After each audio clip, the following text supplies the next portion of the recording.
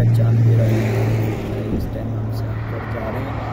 तो आप रस्ते में जी इसका टाइम वो दो रखते हैं मुसाफिर तो फ़र्ज़ पढ़ लिया करें, सफ़र में नमाज़ पढ़े करे, पता नहीं ज़िंदगी का सड़कों ते रुख सामने, पता नहीं ज़िंदगी का केड़े मोड़ ते मुक जाए अल्लाह सब मुसाफिरों को अपनी जबान शुक्रिया।